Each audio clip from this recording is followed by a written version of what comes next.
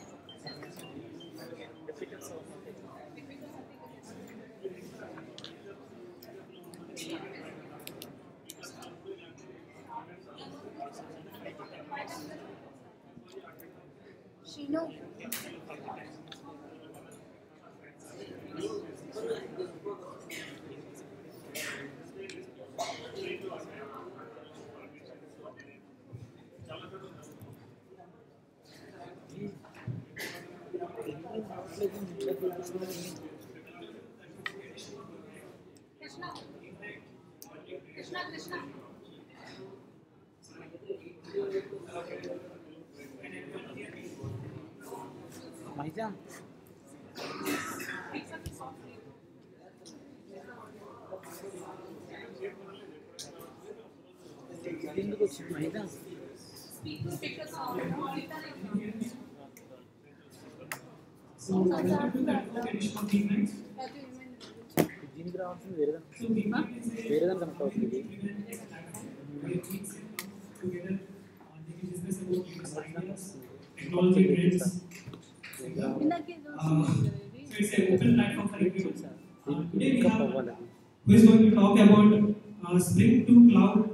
and REST to microservices. That is the topic. So Ranga is a hands-on. uh, So giving about his uh, bio uh, briefly, he's a hands-on architect and also an instructor. Uh, he's the author of book called uh, Spring 5.0. Uh, this books, this book mainly talks about building cloud-native applications with uh, microservices using Spring, Spring Boot, uh, Spring Cloud, Spring Data Dataflow, etc. So he's also a leading instructor at Udemy with more than 100,000 plus um, students. And after working on um, various uh, solutions in banking and insurance domain, uh, he started as a full-time instructor in, in28minutes, uh, which is again an online video course delivery platform on Java and Spring. Uh, so certainly you can follow him. Uh, he also has experience in various things like TDD, uh, distributed development, behavior driven development, CI/CD, programming, practices, etc. Without any delay, let me hand over to Vibhanga. Thanks.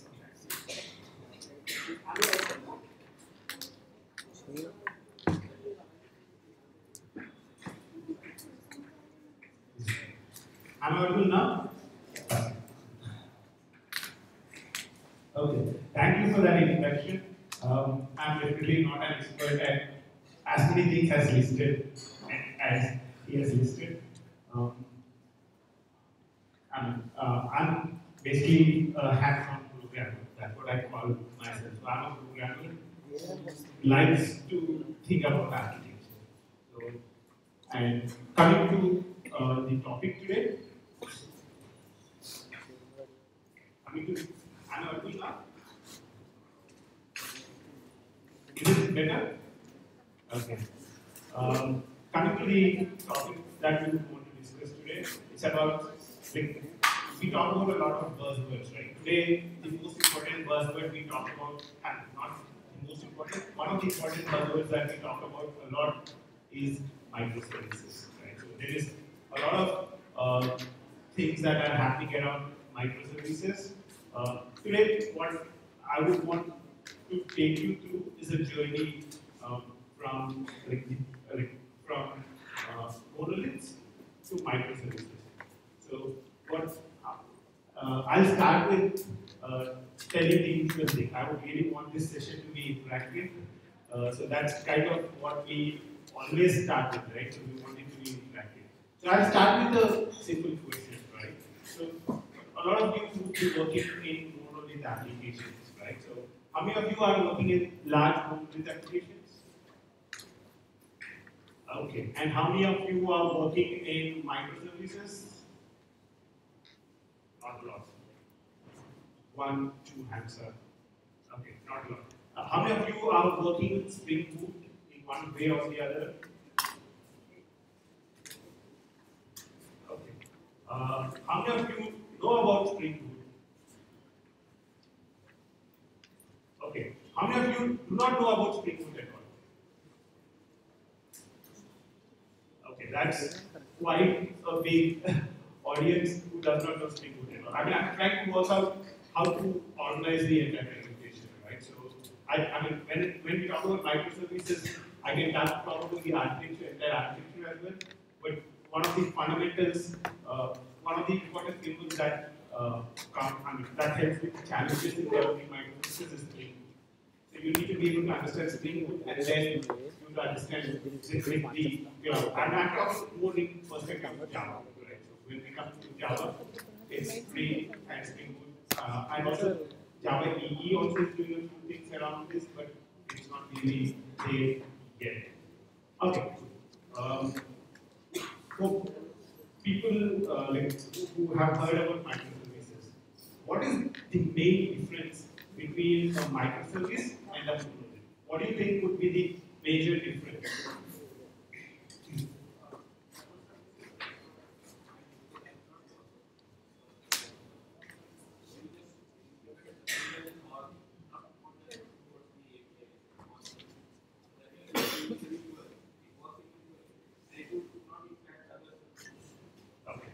Right. So what you're talking about is uh, microservices are small, right? So that's what you're saying.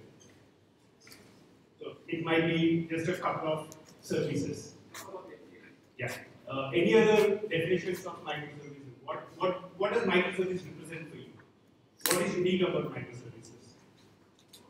It will have its uh, own database it works with its own database. Sorry. Can I?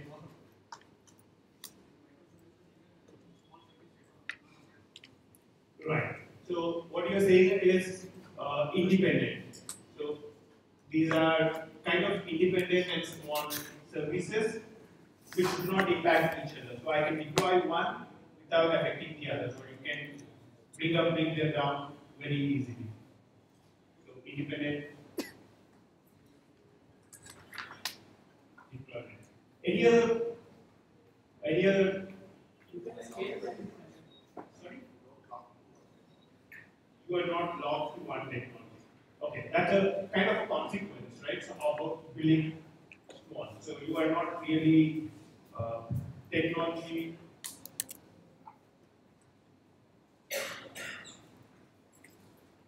Not technology neutral. Okay, I know. I'll say. Okay, any other thing? Easy to test.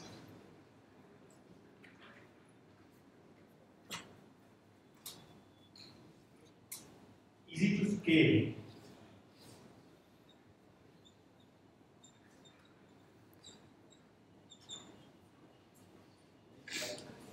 Makes life simpler.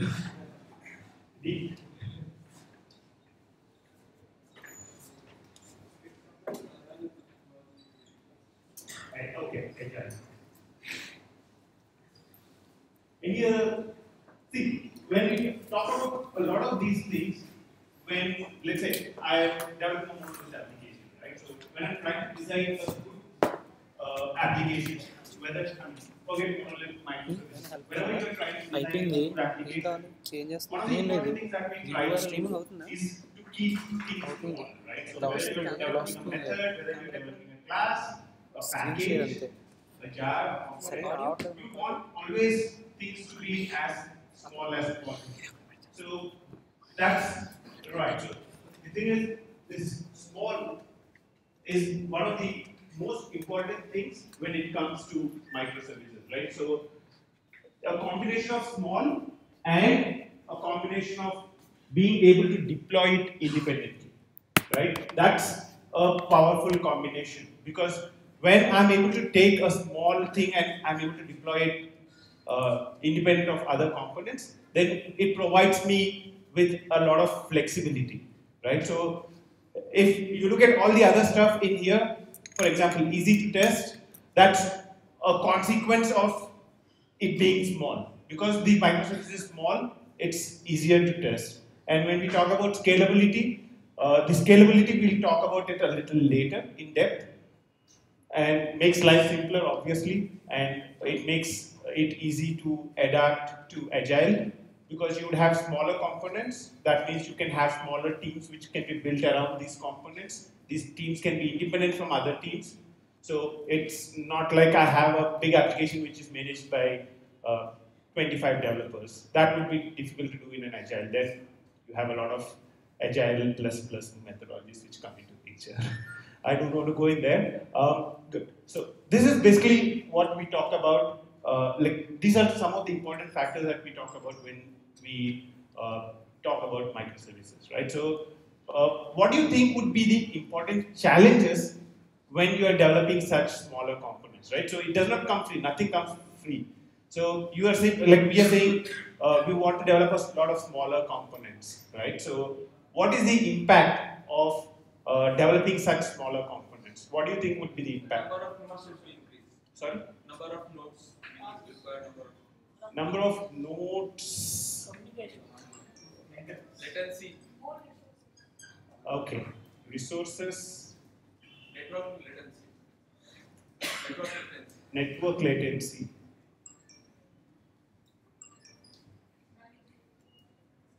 Manageability.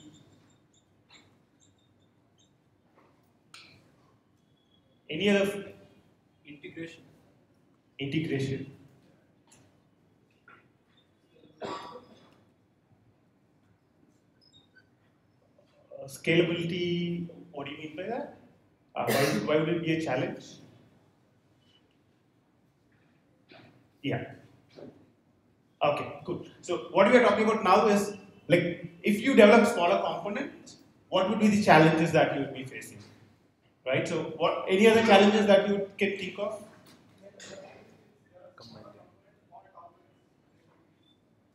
Okay, so fault tolerance because these components are small, you'd want all of them to be uh, fault tolerant. Yeah, so you have to do a lot of deployments, right? So because you have smaller components. Yeah, that's good. Any any other debugging a problem, right? Because you have multiple services which interact with each other, debugging problems become very difficult. How do you decide the microservice boundary? Absolutely. That's, I think, the biggest challenge. How do you design the boundary of a microservice? Any other challenges?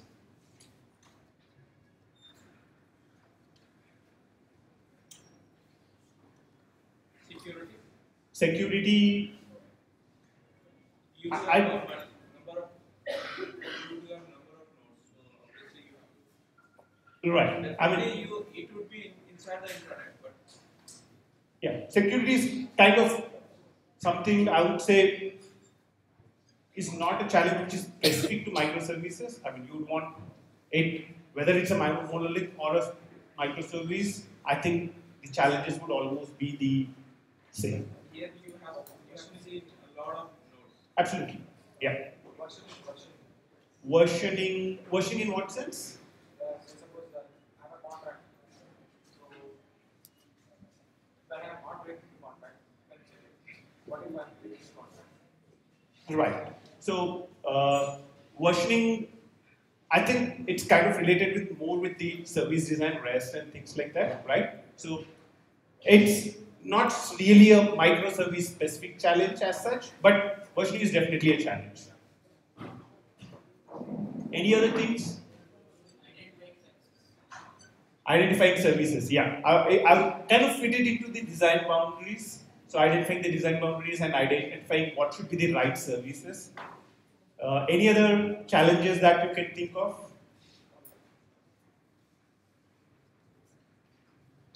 Okay, cool.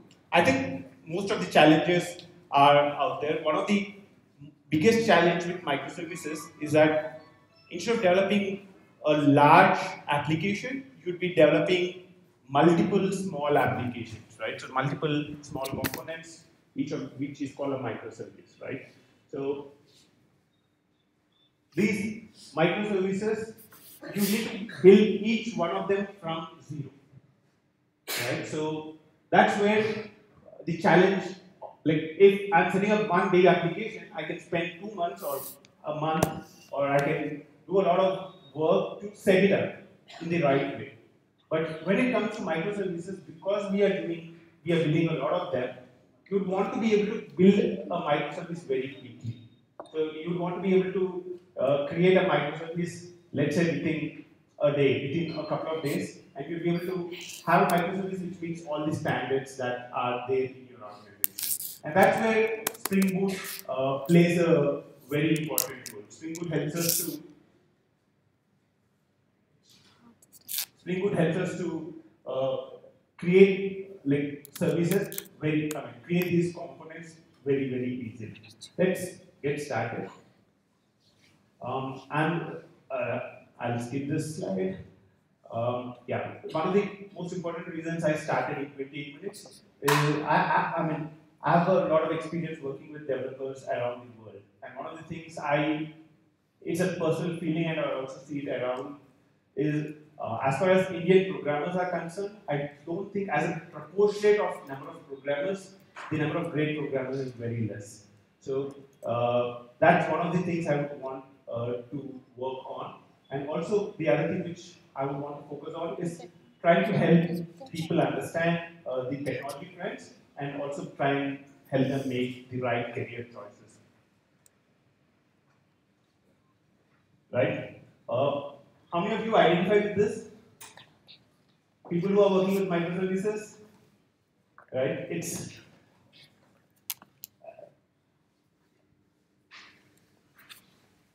right? So today, whichever or wherever you go to, this is how we are talking about microservices. Anyway, I mean, you cannot attend a, a conference, a meetup without the word uh, microservice being talked about.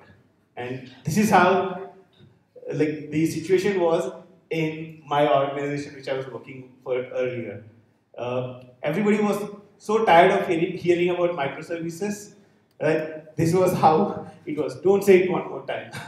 so it's like the thing is, uh, as with a lot of these buzzwords that we talk about, microservice is not really a silver bullet, right? So it uh, it is not something which uh, you would be able to say, okay, I have a monolith application, I'll be able to convert it to microservices tomorrow, right? I cannot. If you have a big application with, let's say, uh, a million lines of code, I mean, taking uh, like refactoring it and building it into microservices is a long process. It's not going to be a very short, uh, like quick thing. And it's like people who uh, like to really get the benefits out of whatever uh, like microservices are promising in terms of uh, being able to scale very easily.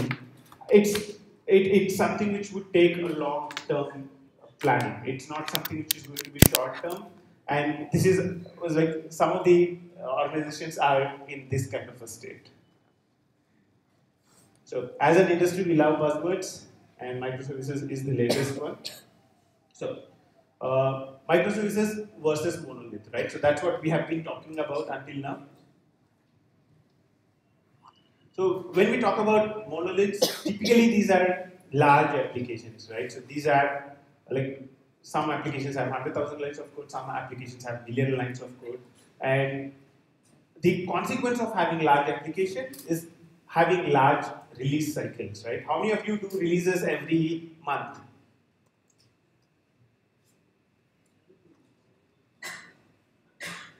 Five. How many of you do, do releases every uh, like week? Great. So we have few people doing releases every week. How many of you do releases every day? Very few, right? So today, like one of the important reasons that we talk about release cycles is because for businesses to be successful, they need to be very dynamic, right? At the end of the thing, all the applications, all the technology that we create is there to serve a business. And that business is only going to be successful if it's very innovative and is able to adapt to the change of the needs of the market. If we are going to say, okay, you get a requirement today and it will take like three months before I will be putting it live, that's might not be sufficient amount of uh, like uh, responsiveness to enable your business to succeed. And that's where like the release cycles of these monoliths are a big problem. So these monoliths have large release cycles And obviously, as a consequence of the large code base, you would have large teams also maintaining it, right? So you would have very big teams which are managing these monolith applications. And scalability challenges are very much one of the biggest problems with monolith applications, right? So, how many of you shopped a lot during the uh, like uh, holiday season? Nobody shops a lot during the holiday season, right? So, the, if you take like for example Amazon, right? So they the load on the applications, I mean the load uh, like number of users using Amazon will not be the same on every day of the year, right? So during the holiday season, what would happen? The number of hits go up drastically. So if, uh, for example, if you take something like a Thanksgiving Day, right? The load, typical load on a Thanksgiving Day is five or six times the load which is present on all the other days. So what happens is I was working for uh, uh, an organization um, which was into like insurance. They were kind of providing a platform for all the insurance companies so that they can actually enroll uh, their customers. So what happens with this kind of thing is we had peak period only during October and November. So during October and November, we have peak load, like it's like 50 times the load compared to all the other months. And all the other months, we had absolutely no load. And what we had in place was infrastructure which would handle the peak load. And what the infrastructure was doing for the rest of the time, it was just there sitting idle. Right? That's really the business benefit that you would want when you go towards microservices, right? So when we are talking about microservices, what we are really talking about is cloud enabling. So what do you like? How many of you uh, like? Let's probably take this off.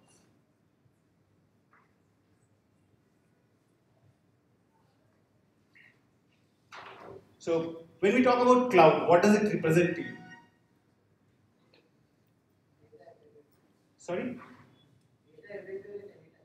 Data everywhere at any time. Okay. So large data, is that any other? So when we talk about cloud, what does it really mean?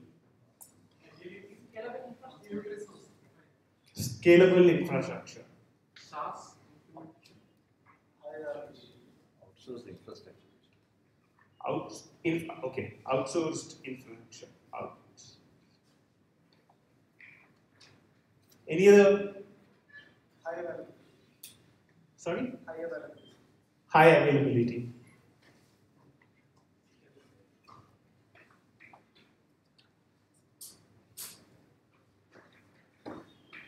Any other Less manpower. High scale. scalability? Any other? Agility.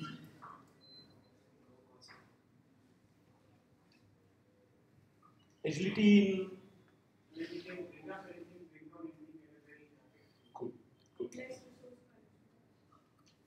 Um? Okay, okay, I get what you're saying. So it's more. Sorry?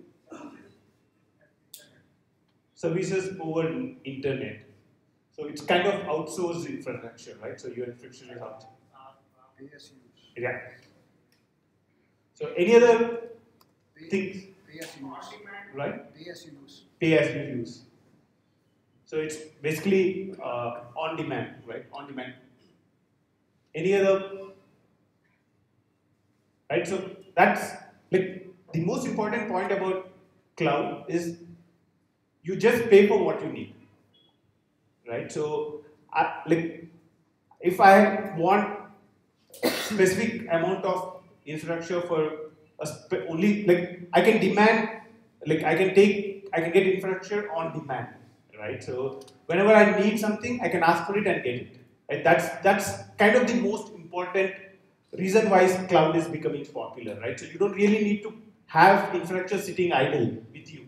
You just need to pay for what you need. You don't really need to pay like uh, like for example with the organization that I was working for, we were paying for uh, infrastructure which was sitting there idle for 10 months a year, right? For the other two months is when we really need it, and for the other 10 months, the high-end infrastructure that we got is just sitting there idle. It's not doing anything. That's one of the main reasons why like cloud is so famous today, and that's one of the reasons why microservices are also becoming a famous trend because microservices enable you to actually benefit from the cloud, right? So unless you have applications which are scalable, which are dynamically scalable, you'll not be able to realize the benefits of the cloud. So even though there is infrastructure out, even though there are things out there which you can dynamically ask for, unless you have applications which can benefit from it, you'll not really make use of the whole thing. So typically monoliths have a lot of scalability challenges and also adapting to new technologies. One of that was one of the points which was already discussed, right? So adapting to new technologies is very difficult when you have a monolith, right? You don't really want to have three or four or ten frameworks being used in the same application. So new technology ad- adaptation becomes a huge challenge with all these uh, monolith applications. Let's say you want to try a, play framework or you want to develop uh, a specific API using Scala or you want to try Node.js for something. If you're having a monolith application, then it's much more difficult. But if you have uh, if you have kind of microservices architecture, you can kind of have more flexibility with playing around with things. And obviously, when you have large applications, implementing agile in the right, in the simplistic way, would be difficult. And also things like automation testing, right? So you have no idea. Like when I talk about monoliths, probably some of these applications have been developed uh, more than 10 years back. Uh, at a time when probably uh, unit testing was not even considered to be very important, right? So doing writing automation tests for uh, like this kind of software is very very difficult.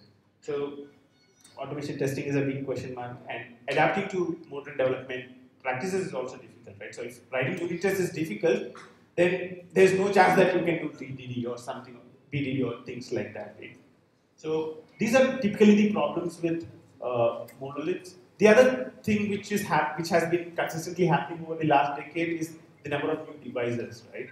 So earlier, where, like if I go a decade back, it's just a laptop that you are serving to, right? A laptop or a computer, a desktop. But now you have laptops, iPads, and you have hundreds of varieties of mobiles which you are serving to. So there, are, I mean, the number of devices that we are serving to is much larger, and their needs are very different. So what you would want to serve for a desktop is completely different from what you would want to serve on a mobile. So in that sense, there is a huge amount of device explosion, and customizing the monoliths to be able to do this is very tough. And one of the solutions which is being proposed is what we have been talking about until now, it's microservices. Um, the thing about microservices is there is no one definition for microservices, right? So when we talk about microservices, like I'll put up a few uh, example definitions. So small autonomous services that work together.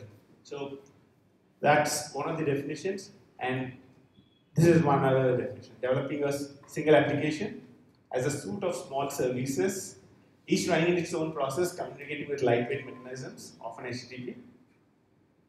And definition is continuing. So thing is, there is not really a single accepted definition of a microservice, right? So what is I mean, actually, this is another yet another definition. This is from Martin Fowler. So this is basically uh, bare minimum centralized management of these services, and obviously you can write them in different programming languages and use different data storage technologies, right? So for me, when I talk about microservices, for me, uh, this is kind of the most important point when we talk about microservices, right? So your services should be well defined. That's number one. That's why REST is on top. So whatever services that we are creating, these are uh, well defined, so well thought out. And the second important thing is uh, having the right boundaries. So one of the that's one of the important challenges as well. I mean, identifying the boundaries is not such an easy thing with microservices.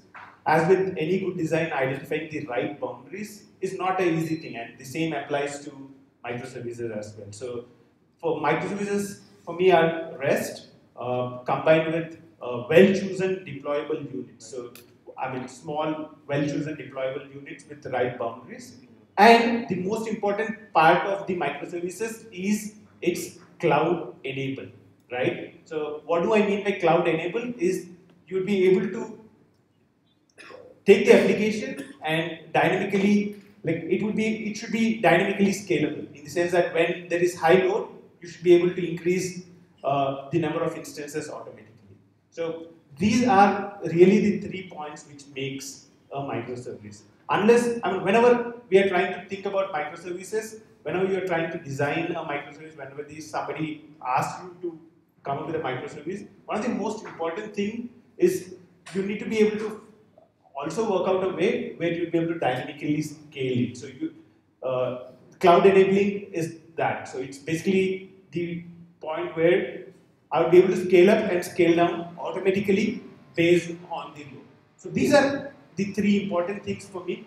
It's having good design in terms of your services, having right boundaries, plus cloud enabling. So cloud enabling, it does not mean you have to deploy it in the cloud. It means if you need to deploy it in the cloud, you can do that. And you'll be able to automatically like scale up and scale down. You can dynamically provision everything and you'll be able to scale up and scale down. So those three are kind of the most important factors for me when it comes to microservices. And let's uh, just look at a couple of pictures. Uh, it's a movie application talking to a large database. If I was designing it in a microservice architecture, it would look something like this, right? So you have a variety of databases, and each of these services might be implemented using different technologies. So it's basically smaller services talking to disparate data sources.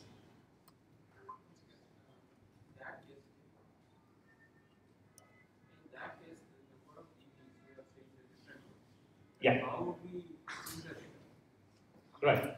So that's that's a good, very good question. I think uh, we'll talk about it a little later when we talk about uh, events. Like what? Um, are, do you follow the technology radar from ThoughtWorks?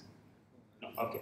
So one of the important things that was there in uh, technology uh, radar was start seeing events as the source of data, and like the way we need to think about data changes when it comes to microservices. And you're right. I mean, having separate databases makes it difficult, but uh, when we go towards microservices architecture, one of the important things that we would see is we would start building applications around events, and uh, the final data in the database might not be the source of truth anymore.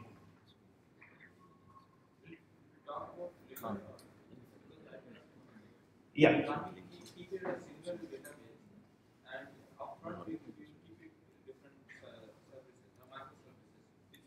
single. yeah. We'll take that question later after we discuss it. Right. So you are talking about why you have separate databases, but why not have one database? We'll talk about it. uh, from a design perspective, I may not always want to uh, maybe start building all those five services that I see there. Absolutely. Maybe I'll start with three of them. Right. And then I start adding more functionality as time goes by, Right. as, as and when needed. Absolutely. So, which means there is a lot of pressure on me uh, to make sure that my initial design is bang on. So, if if, uh, if if I even decide to adopt microservices, let us say a few months after I've started developing, Right. so how does that change things, how advantageous is it to you know pick up microservices somewhere in between the life cycle of uh, you know building the application? Okay. So what what you are really talking about is mi- migration to microservices, right? So you already have an application and you want to migrate it to a kind of a microservices architecture, right? So that's that's kind of the problem which uh, like maybe 60 to 70 percent of the organizations are trying to solve today, and the thing is, there is no one answer to it, right? So, thing is, how you do microservices is completely different from how you do monolith applications, right? Because when it comes to microservices, as we would see later, you would see that you need a lot more automation and a lot of like you want to automate deployment, you want to be automating the infrastructure. So all that you'll not be able to perfect in one day, right? So it's not you'll not be able to switch from this to this in one day. It would be more like a slow migration. So you'd start with one application. It would be more of a you start with you'd start identifying what is the right application for me to start with to try microservices, right? So that's the first question that you try and ask. Then you try and ident- like the most important thing is that particular part should need the dynamic scalability, right? So that's that's the most important thing, right? You, you need to identify a part which would uh, need uh, like like the dynamics like the dynamic provisioning and things like that. So you need to identify a part and kind of try that first, and then kind of identify the path for the rest of the applications to move there. So it's not going to be a one day or uh, like it might be actually a multi-year project to be able to switch from uh, a monolith to a microservices application. Does that answer your question? sorry, uh, design-wise, I think this is not a good approach to have multiple DBs. Because in my project currently we follow the same architecture where we have multiple databases and we sync the databases using Kafka, Okay. Kafka or uh, some some MQs. So Right. we usually face issues. Okay. So, So this is what I feel is like this approach is yeah like whenever there is a, a record inserted in one DB, we sync using Kafka.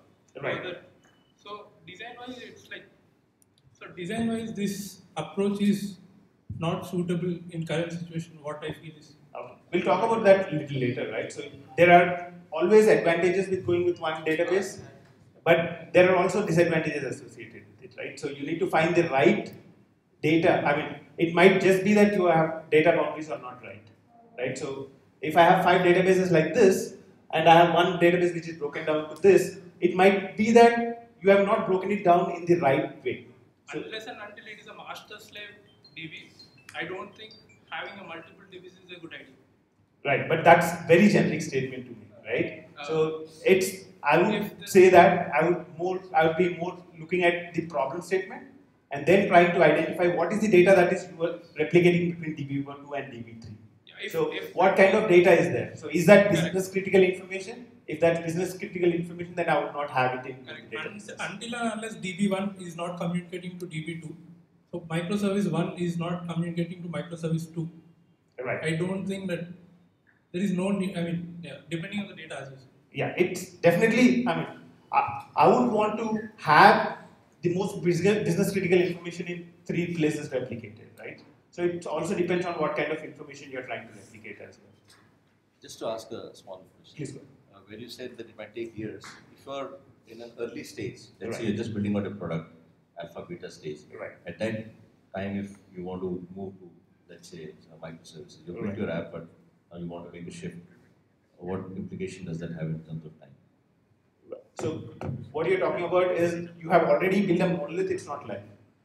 Yes. It's not in production, Yeah, it's pre-production.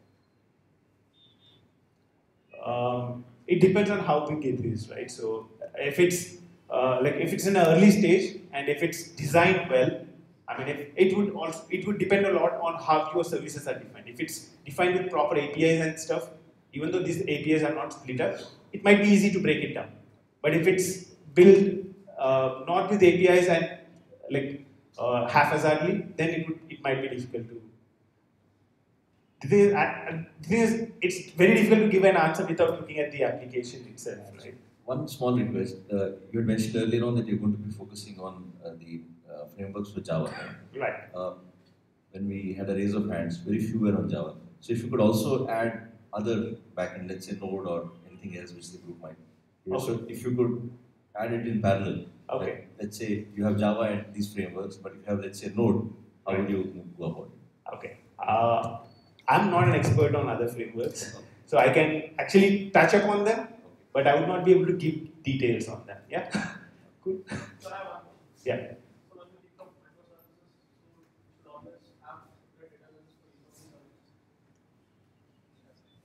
Yes, that's the recommended approach. Uh, the recommended approach is each of the services should be independent. And by independent, it means the entire uh, vertical structure. So it's recommended to be like multiple databases, but when you are migrating from monolith to a microservice kind of approach, then you might have a little bit of duplication of data as well as you might be sharing a database as well. But uh, ideally, the recommended structure is something of this kind. Yeah. So these are literally separate web applications, each one of them that are working together. These are uh, APIs. Yes, these are APIs which are being exposed, talking to a, a like variety of data sources. So if I'm talking in terms of Java, Right. If I'm talking in terms of Java, so each of these is like let us say one jar file talking to let us say one table, something like that. Have I got it right? A component, right? It can be a jar file. If you are talking about like typical web applications, it might be a war file. Right. Right. Right. Yeah. That's it. Yeah. Exactly.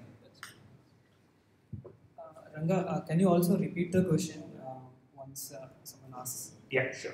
I will. Thank you. So, and this is how the communication might look like it. Not in all the situations, but when you talk about microservices architectures, you would have a lot of microservices interacting with each other. So you, you might have a number of calls going between these microservices, right? So yeah, we already talked about the advantages, right? So you'll be able to adapt new technology quickly because these are small independent components. You'll be able to try new technologies much more easily. So if you want to try Node.js or any of this other stuff, then you will be able to try it very easily. Uh, faster release cycles, uh, because these are small components, uh, you can, and most of these have automation tests, you'll be able to release them much more frequently than usual. And. Let's say I have five microservices to single DB. So shall can I call it as a microservice? um, we'll, shall we take the database thing a little later? Yeah. Yeah? Is that good? Yeah. Sure. Uh, yeah, let's get back to the uh, scaling part of it, right? So, uh, the one of the most important advantages of microservices is like when I have multiple microservices, based like all these microservices might not have the same load on them, right? So, microservice, a specific microservice might have much more load. If you are uh, talking about a movie applic- I mean, a movie website, probably the ticket booking thing has much more load compared to the like uh, the pages which display the movie information. So each of these microservices can be scaled independently, right? So you might have just a specific one instance of a specific microservice, and you might be able to have multiple instances of uh, the second microservice, and like just two for the microservice one. With monolith applications, we did not have that flexibility, right? So you like it's you need to if you want to have 10 instances, is the 10 instances of the entire monolith application. But here you have more flexibility in terms of how you want to scale. But the most important thing with uh, microservices is that uh, it does not come free, right? It's there are a lot of challenges which are associated with developing microservices, and let's uh, look at a few of them now. Uh, one of the important things that we already talked about is quick setup, right? So you cannot because you want to develop a number of small components, you cannot spend uh, like two weeks, three weeks to set each of these microservices up. You want to be able to quickly set up a microservice and get going with it. Uh, obviously, automation is very, very important, right? So you have 20 microservices, 100 microservices. You want to be able to deploy them. You want to be able to test them automatically. So automation becomes a crucial part. Starting from how you create the microservice, starting uh, how you test it, uh, how you deploy it, and all the dynamic provisioning and all that part of it as well. So automation is a very critical thing when it comes to microservices. And typically, like organizations which are using monolith architectures are not ready with all the things which are needed for automation, right? So that's one of the important challenges. Um, visibility is another important challenge. What does what do I mean by visibility? Um, when we talk about microservices, we like the call chains will be something of this kind. So you'd have a number of microservices calling each other, and you have a number of microservices also, right? So if something goes down, you want to be able to know that immediately, right? So if a microservices is down or if there are faults coming up from a specific microservice, you want to be able to know that very quickly. And also if you have a problem, let's say there's a problem in microservice code, or there's a bug which is present, you are trying to debug something. You want to be able to see what is happening behind the screens of each of these microservices very easily. So they, that's where visibility is very important. Want to be able to monitor them and also see uh, like what's happening behind these microservices in a very easy kind of a way. So that's a challenge when it comes to microservice. Uh, the biggest challenge for me when it comes to microservices is the bounded context, right? So you want to be able to identify the boundaries of what, like, what should each microservice do? How many microservices should I have? What is the boundary of each of these microservices? So that's kind of the most important challenge when it comes to microservices because when we talk about microservices, you'll be able to get the real benefit only when you'll be able to independently deploy them. So if I, if I make a change and I have to change 15 microservices along with it, then your microservice architecture is not serving the purpose, right? So the real uh, purpose will be served only if you are able to identify the right boundary for these microservices and develop them in that way. And what I've found is identifying the right boundary is not going to be like an easy task as well. It's not something which you'll be able to say, like, I'll understand this domain in one day and sit down and do the design. It's more something which would evolve over a period of time. So, uh, like, one of the uh, keys uh, to identifying the right boundaries for the microservices is uh, bounded context. How many of you have read the book Domain Driven Design? Right. So, in Domain Driven Design, uh, they talk about bounded context and taking the concept of bounded context and applying it to the microservices is one of the ways of uh, identifying the right boundaries for your microservices. With respect to microservices, uh, how does it uh, relate to containers and container management? Yeah, that's a good question. I'll come back to that. I'll probably give a quick answer right now and see if I can come back to it, right? So one of the important things I, I was talking about is dynamic provisioning, right? So we want to be able to see the load and dynamically adjust, right? So if I have less load, probably less instances, the moment the load increases, I would want to be able to pull up a new instance of the microservice, right? How do I create a new instance of the microservice dynamically? Today, the best way is like, for example, container management. Kubernetes is one of the best ways. So as soon as you say, tell Kubernetes, okay, this is the container, you manage it. As soon as the load goes beyond this, you just uh, pull in a new instance of this container. So container is basically your application with all the soft, all the things that you need uh, for developing that, right? So your application plus uh, JVM plus uh, the OS. So you would have to use a container management system for microservices. Yeah, if you want to be able to dynamically provision, yes, it's one of the uh, most have. popular approaches today. It is a must-have. Uh, it's because you want to scale and deploy it. right. So I mean, I would say it's like 99% of the scenarios it's used. Let's put it that way. Uh, the other important challenge when it comes to microservices is configuration management, right? So you have, instead of having one application, you have multiple smaller microservices. That means you need to manage the configuration for each one of those microservices, right? What are the services I need to talk to? What are the application business related configuration that I have? I would need to start managing all that for 100 different microservices for all the multiple environments and multiple instances which are present. So your configuration instead of having uh, 50 different configurations, probably you would have 500, 600 different configurations which are present. And the most important thing, right? Without dynamic scale up and dynamic scale down, uh, there is no meaning in going for microservices. So you, you need to be able to have all the like technology to be able to make use of the dynamic provisioning which is provided. And obviously it's like a pack of cards, right? In the earlier picture we saw microservice 1 calling 2, calling 3, 4, 5. So if let's say microservice 5 is down, all the other stuff is down. So it's like a pack of cards. unless you have the right fault tolerance built in, there's a chance that the entire architecture would collapse. I mean, if some one microservice is down, uh, it can pull down the entire application. I mean, entire all the microservices down. And debugging is going to be a difficult challenge that we already talked about. and having consistency is also a, a big challenge because you have um, because we have a lot of uh, different microservices which are present, like 20, 30, 40.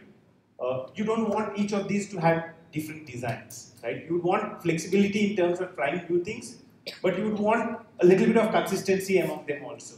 So how you design something, how you develop something, and how you test something, and how you deploy it, you need consistency in terms of how you develop it as well as how you like what are the tools that you use and all that kind of stuff. So achieving that level of consistency is also a challenge when it comes to microservices, right? So typically we have governance boards or like decentralized, like uh, more like uh, the, leads from teams or the development leads from kind of forming a kind of a guild and coming together to make sure that we have an identified pattern of how we develop the microservices, right? So having that kind of a thing to ensure everybody is consistent is very important. I mean, you have to leave flexibility for innovation. I mean, you want to be able to try new things, but you should not try new things every other project, right? So it's more like you have a standard, you have a defined approach, and then you kind of deviate from it based on some reasons. So, tip, uh, before going to solutions, we'll take a 15 minute break.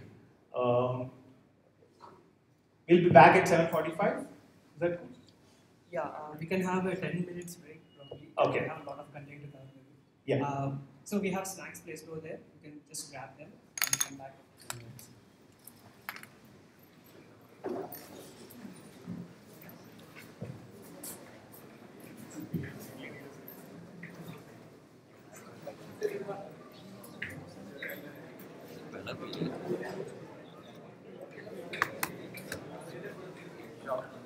After